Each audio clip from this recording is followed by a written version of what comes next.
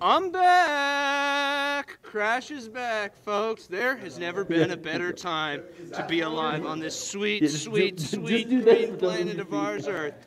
Folks, something amazing's happening. For real. I ain't joking here. This is not